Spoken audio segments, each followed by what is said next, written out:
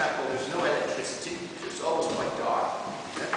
The vestry is just a very small thing, not like the vestry here is practically a large cottage. Yeah? Because long ago, of course, the priests they would earn uh, income from people's income. They they collected a tax known as a tithe, T-I-T-H-E.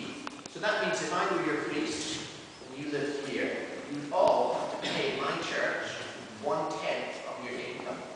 Okay? So cough it up. One tenth of your income.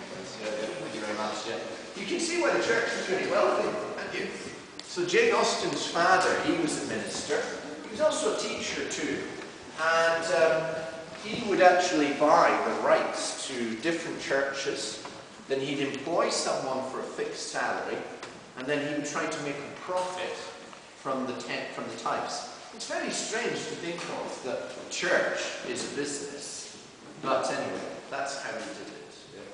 The big problem we have in England today is that, of course, there are not that many people going to church. I'm sure it's probably the same in Italy. There's one thing that's keeping the Roman Catholic Church going in Britain at the moment, just one thing, and that is immigration. Yeah? Many people who come from Poland are very religious, they go to the church.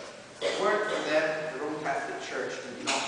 We'd have a lot of problems in Britain because they just wouldn't have enough people, they'd have to close lots of churches down. But it's not just the Roman Catholic Church, all churches have this problem.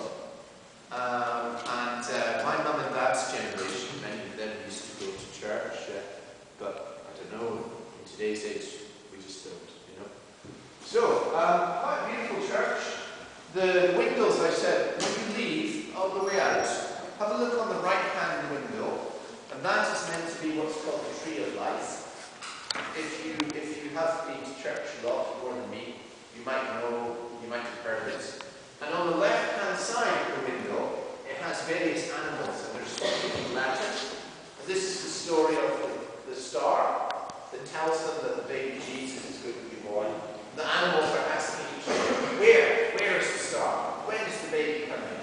And so that's what that is, yeah. Anyway, you guys, um, you guys do Latin, so you, you could be the next generation of priests, yeah? You need, you need your Latin. I think it was in about 1960 that they now they stopped doing services in Latin. Yeah. But.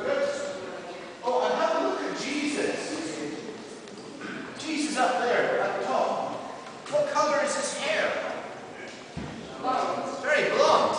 Do you think the real Jesus had blonde hair? Probably not, yeah. He would have looked like an Arab person, probably did, yeah. So they would have had dark hair. Now, the very first Christians to make churches and celebrate, in the beginning, they used to portray Jesus as a kind of masculine and feminine figure. I guess you could say he was kind of feminine.